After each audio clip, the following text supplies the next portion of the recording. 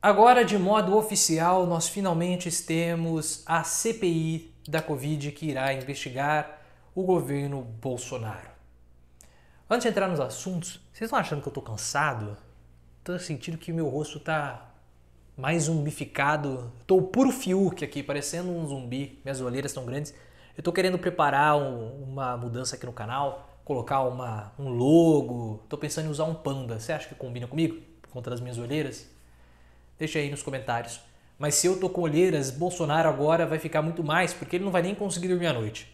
Como eu falei no começo, a CPI está instaurada, o presidente é Omar Aziz, do PSD de Amazonas.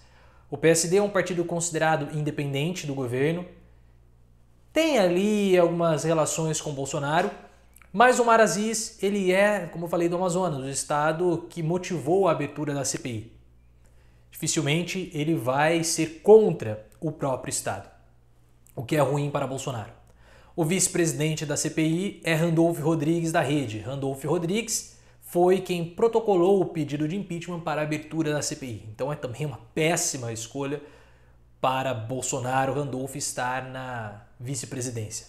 E por fim, a cereja do bolo é Renan Calheiros como relator da CPI. Foi oficializado Houve uma liminar movida por Carla Zambelli para que o Renan não fosse fosse impedido de ser o relator, mas essa liminar foi cassada e o próprio MDB disse que vai entrar com uma ação contra o juiz que concedeu a liminar favorável a Zambelli e desfavorável a Renan Calheiros. Renan Calheiros é uma diva, ele adora os holofotes políticos, esteve afastado durante muito tempo e vem babando para Bolsonaro como se fosse alguém que está com muita crise de hipoglicemia e olha para aquele chocolate geladinho. Então ele vai para cima de Bolsonaro com esse mesmo ímpeto. O próprio MDB disse que essa é uma CPI que vai ser um pesadelo para Bolsonaro.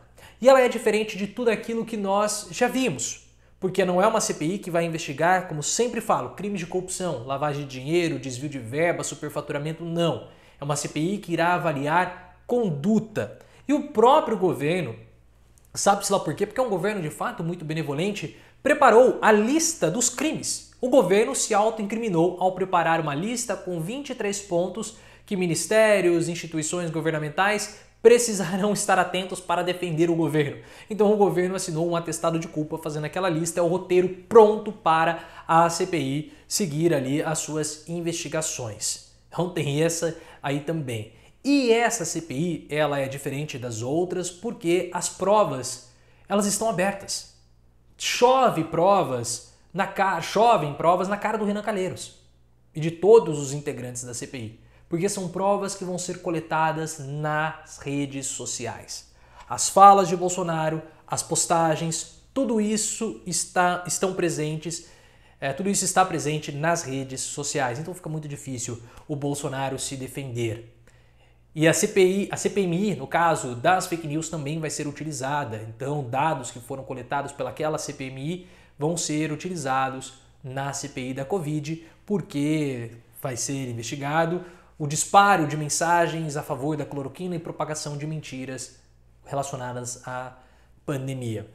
A situação tensa, caótica para Bolsonaro, porque a maioria dos 11 integrantes da CPI são de partidos de oposição ou independentes. É uma CPI hostil contra Bolsonaro. E essa CPI abre o caminho para as eleições de 2022. Não tem mais como fazer qualquer tipo de previsão para 2022 sem acompanhar o que vai acontecer com a CPI. Essa CPI ela é condição sine qua non para as eleições de 22. Qualquer prognóstico, qualquer cenário hoje que é feito sem considerar a CPI é um cenário equivocado. Ah, essa CPI vai acabar em pizza. Ninguém sabe. Nós sempre sabemos como uma CPI começa, mas nunca sabemos como ela termina. CPI do PC Farias, lá atrás, nos anos 90, culminou com o impeachment de Collor e a sua renúncia. CPI dos Correios, no início dos anos 2000, que foi uma CPI pedida pelo Eduardo Suplicy, na época senador do PT. Com ela foi descoberto o esquema do mensalão. Então não tem como saber. E se essa CPI seguir e for confirmados os crimes de responsabilidade de Bolsonaro, Bolsonaro tem uma chance gigantesca não só de sofrer o impeachment, mas também de ir para a cadeia. Porque essa CPI está avaliando os crimes de Bolsonaro e a participação do presidente da República nas mais agora aproximadamente 400 mil mortes pela Covid-19. Nunca tivemos uma CPI como essa antes. E essa é a CPI mais importante da nossa história, porque nós também nunca tivemos um presidente da República que tenha participado de modo ativo para que a vida dos brasileiros e de modo proposital para que a vida dos brasileiros fosse devastada. Bolsonaro fez isso. Existem 23 crimes que eles mesmos se acusam. Então vamos continuar observando. Muitas notícias vão acabar rolando. O bastidor no xadrez político vai continuar acontecendo e eu estarei aqui para trazer todas as notícias e comentar elas para vocês. A CPI começou. Como ela vai terminar? Só o futuro irá nos dizer.